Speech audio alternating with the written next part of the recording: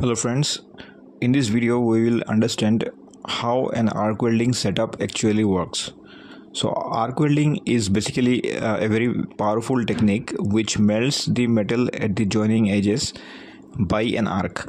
The arc is produced in between an electrode and the metal workpiece to be joined. The setup consists of a, a generator.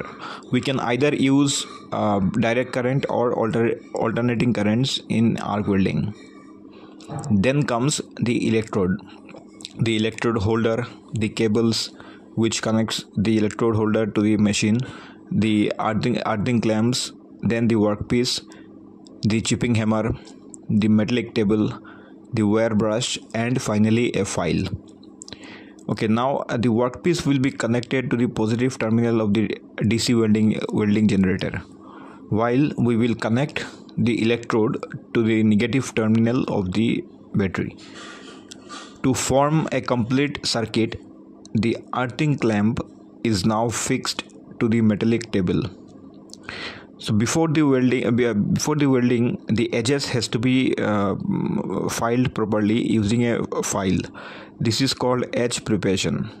And an wire brush can also be used to clean the surfaces. Okay now the arc is produced in between a very narrow gap between the electrode and the workpiece. We will first strike the workpiece with the electrode and as a result a spark is generated. Now we will maintain a small gap of about 2 to 3 mm so that the arc continues to spark. And then by moving the electrode linearly along the length the welding is done